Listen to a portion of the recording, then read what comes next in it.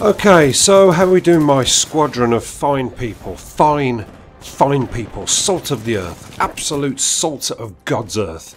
Yes, I'm blowing smoke up your buttocks.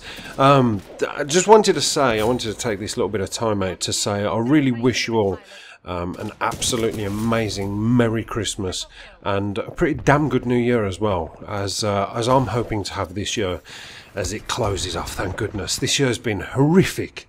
I will not be sad to see the back of 2016. It has had many disappointments for me. Um, but you know what? The end of the year's improved a little bit.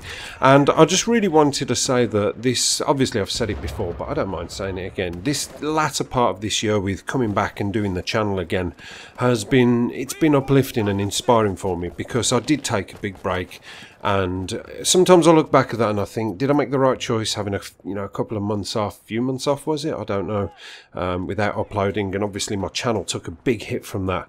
But it's on the up, it's on the growth again, and people are starting to get a bit of interest back in my channel, which is fantastic.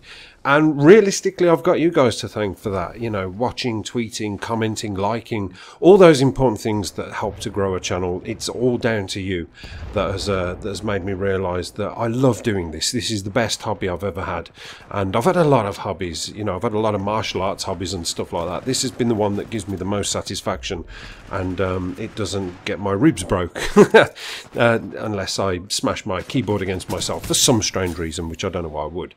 But um, yeah, just really wanted to say thanks very much for you know making the year so much better for me.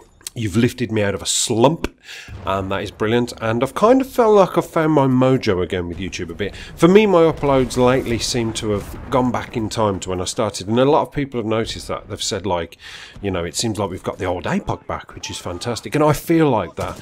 My, uh, my creative juices are flowing, and I'm getting excited about it all again.